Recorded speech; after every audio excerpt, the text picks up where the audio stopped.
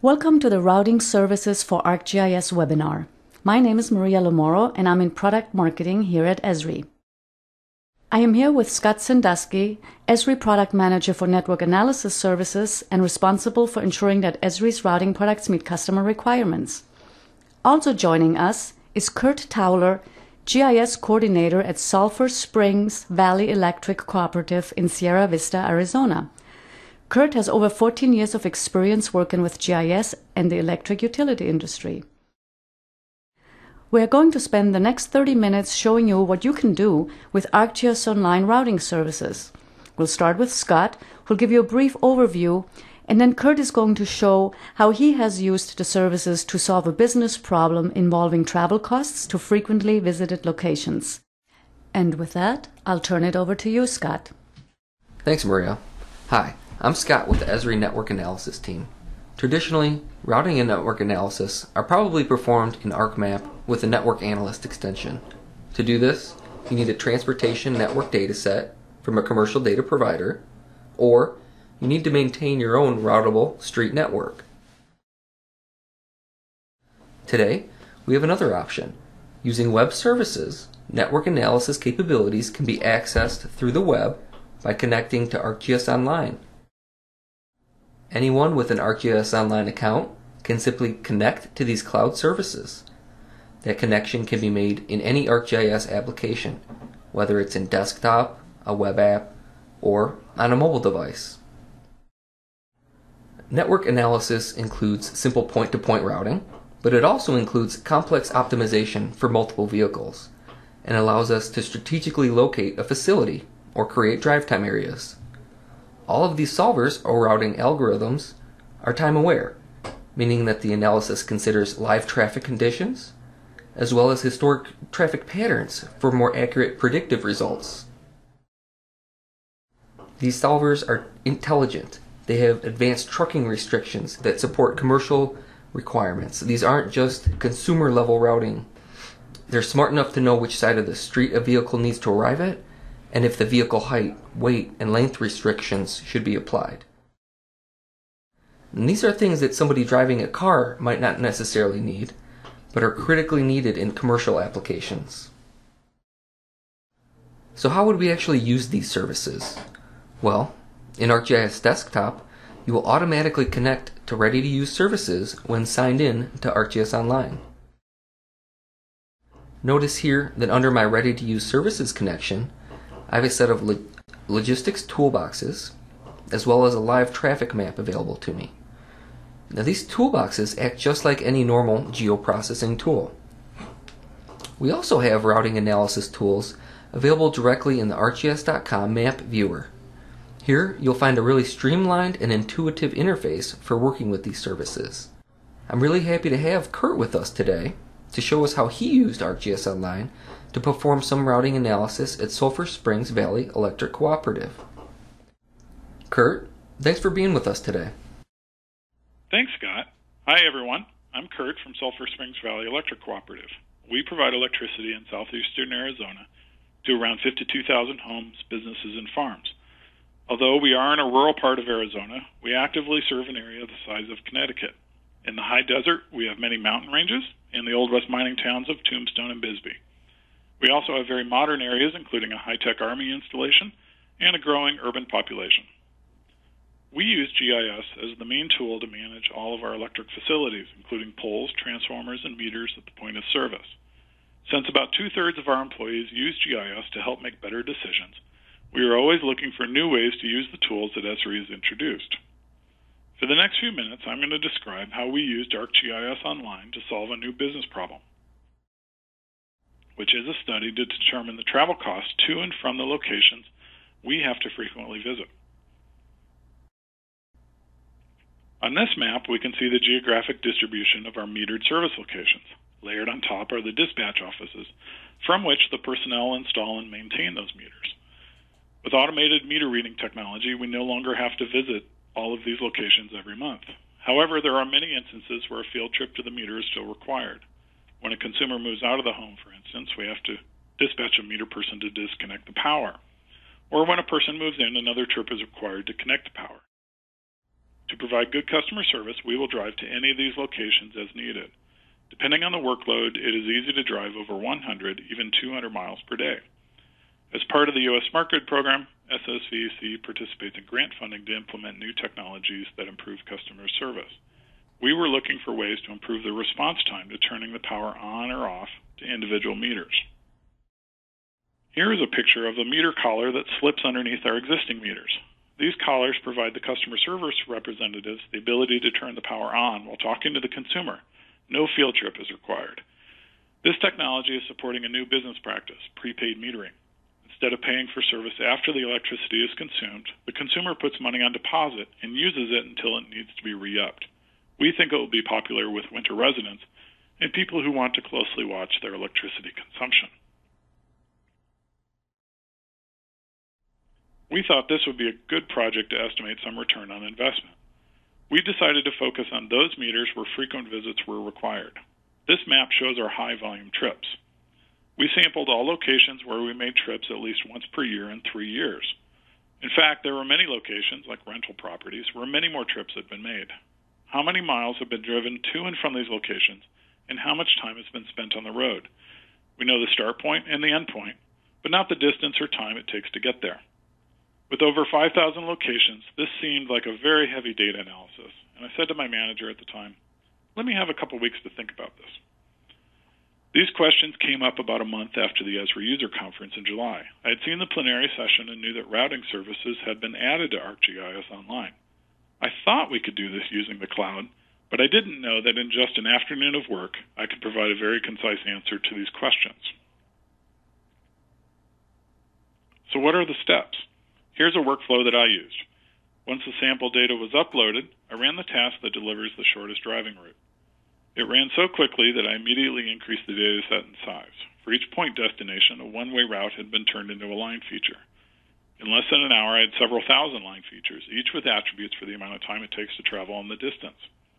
The line feature allows me to anecdotally compare the computer route with our own experiences. This analysis was all kicked off from the web browser. Once I downloaded the features back to the office, I was able to do further analysis from ArcGIS Desktop and turn the tabular data into Excel pivot reports. The only glitch in the process was my internet connection. That day, there was a major internet outage in our area, and it happened while the analysis was actively running in the cloud.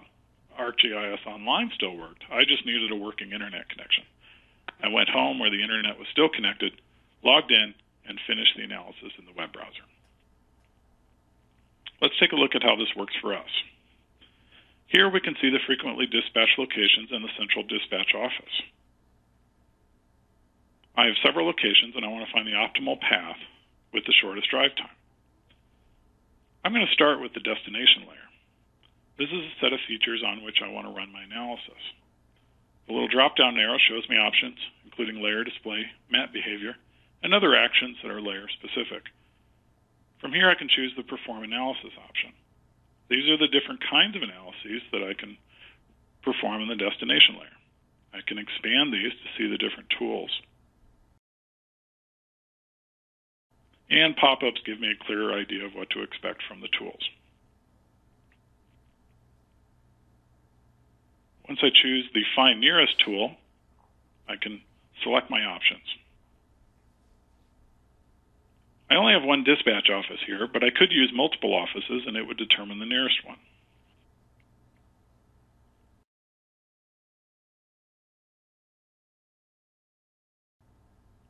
Driving time optimizes my path and allows traffic integration. Once I change the layer name, I'm ready to click Run.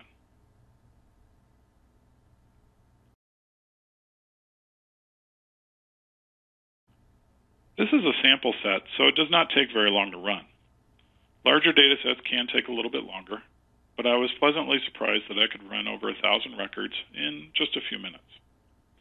There are some record limits, but that can be worked around by breaking up the larger data sets.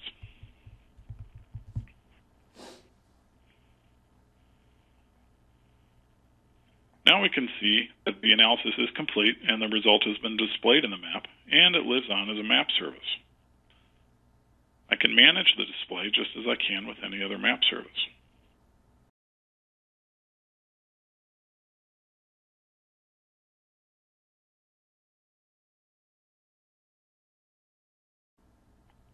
When I select a line on the map, we can see the attributes that have been added that I'll need for my business calculation. Here we can see the total minutes and total number of miles. Since I'm interested in summary statistics, let's see how a table looks. As I open the table, here are my driving distance and time measurements. If I look at the table statistics, I can see how the sum or average starts to look for my information. This is where I'll start to get meaningful results from the production data.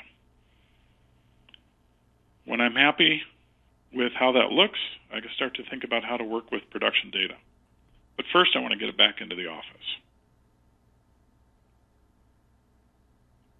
Under the Perform Analysis and Manage Data options, we can use the Extract Data tool to download that data and bring it back into the enterprise. This was only a small set of information, but how does it look when we get over a thousand records?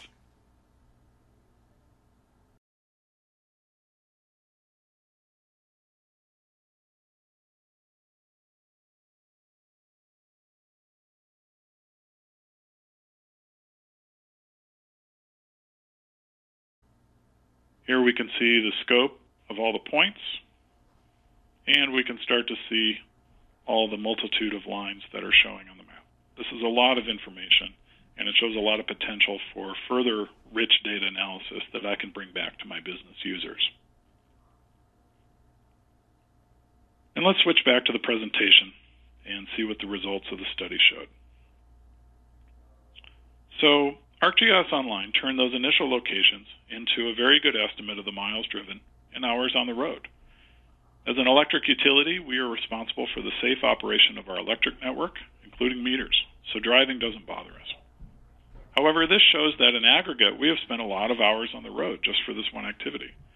So using this new meter collar to remotely disconnect or connect the power, many of these trips can be avoided.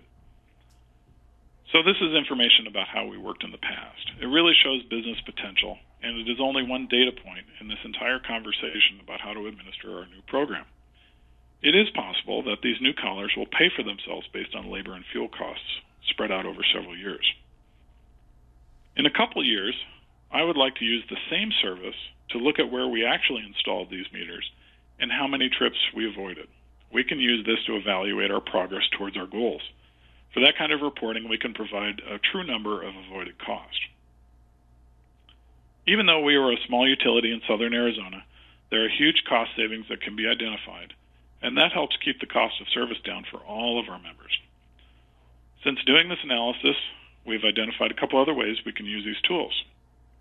There's Python scripting, and I think we'll be able to incorporate that into our construction cost estimates and make a positive GIS impact every day.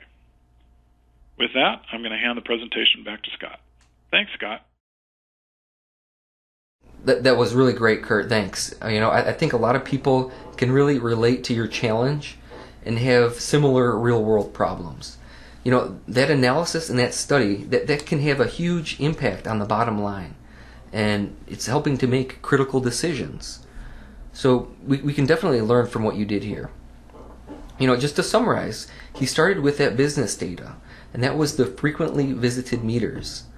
Just by clicking on that layer, he exposed the analysis tools, and then by running the find nearest tool, came up with the route costing estimates. And those costing estimates saved dollars to prove an ROI for installing those meters. And that was all in the ArcGIS Online Map Viewer. Next, I'd like to just switch gears here for a minute and talk a little bit about how these routing services are used in desktop. Many of you may be seasoned desktop professionals and spend a lot of time in ArcMap and want to use this content in there too. Well, here I have an ArcMap project containing regional office locations and work orders that need to be performed in the field. The office locations are displayed as larger colored circles, and the individual work orders are shown as small black points. This type of situation applies to anyone that has several offices and performs some type of field activity inspections, repairs, surveys, maybe customer visits. But the challenge here is how to assign all of this field work most appropriately to those offices. How would we do that? Well, the network analysis tool, location allocation, solves this problem. When I sign into the ArcGIS Online account, I gain access to these premium network analysis services. Notice that now that I'm signed in, in our catalog, I have these ready to use services in a folder connection. Anyone with ArcMap version 10.2 or higher automatically connects to these services when they are logged in. Here, in my logistics folder, this is where I gain access to the ArcGIS Online Network Analysis Services. Now, if you have ArcMap version 10.0 or 10.1, you can connect to these services manually by creating a GIS server connection, just like I did here. Just pass in the logistics URL, logistics.arcgis.com, with an, org- with an ArcGIS Online organizational account login.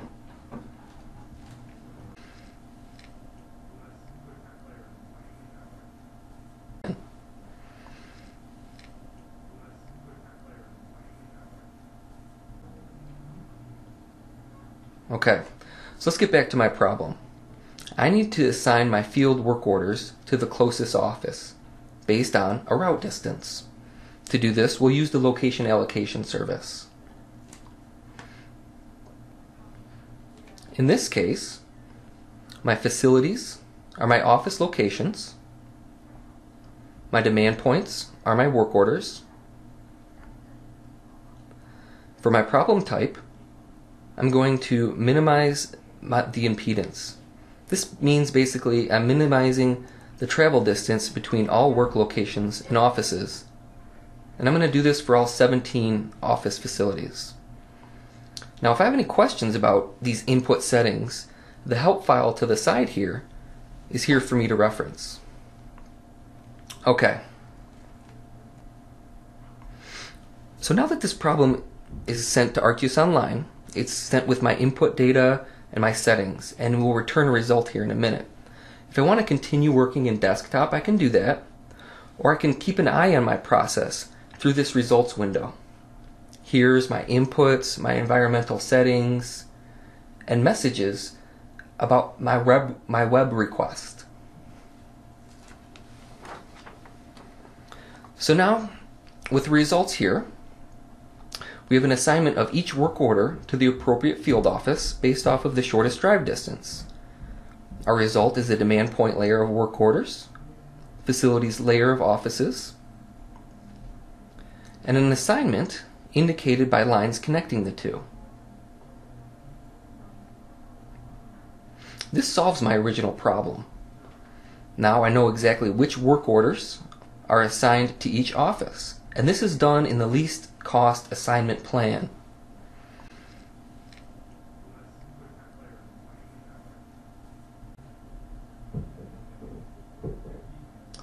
The location allocation tool can help us make other decisions. For example, if we need to close an office, it, it will tell us which one will have the least impact.